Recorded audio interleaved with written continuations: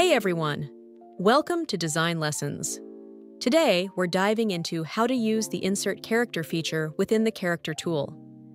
This allows you to insert a specific character anywhere on your canvas, or even replace an existing character in an image.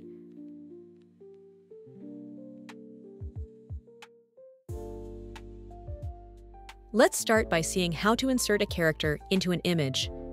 To begin, you'll need to have the original image you want to modify already placed on the canvas. Then, click on Character in the global sidebar on the left side, and click here to open the Insert Character feature. Now, we need to select the area where we want to insert the character. We recommend using lasso and slightly extending the mask beyond the character's outline for better action generation results.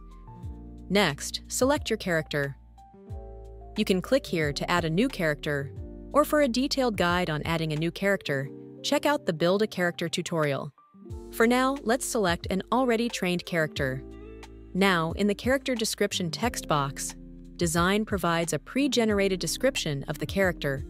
You can leave it as is to keep the character's original look, or you can edit it to modify the character's clothing. Just be sure not to delete the style description at the end of the paragraph. In the Character Action and Scene text box, describe the character's pose and the scene setting. In the Camera section, you can specify the character's direction and camera shot.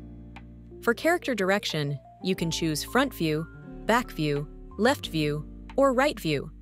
And for camera shot, you can pick between full body or upper body. You can mix and match these settings however you like, or if you don't have specific preferences, just use the auto mode for more freedom. Finally, click Generate to create your image.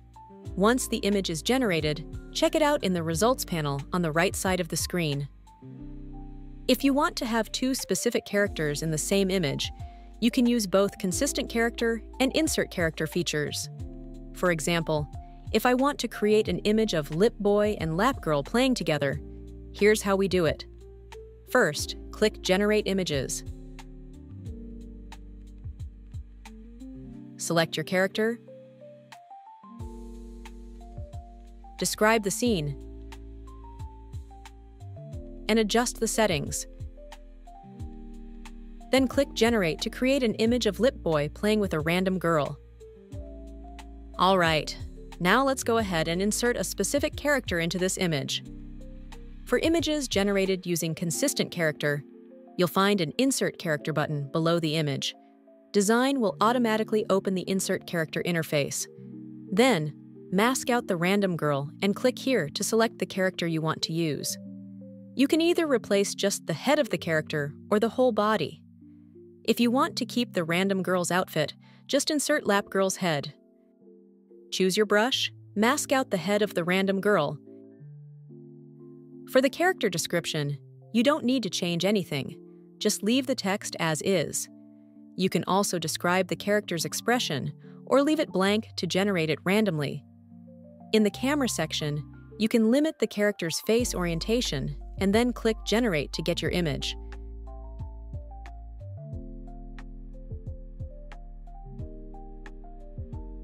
If you want to replace the entire body of the random girl, just adjust the masking range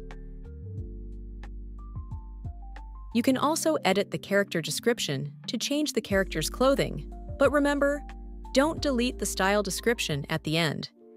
In the Action and Scene text box, describe the character's actions and set the camera direction and shot. Finally, click Generate, and you'll get your image of Lip Boy and Lap Girl.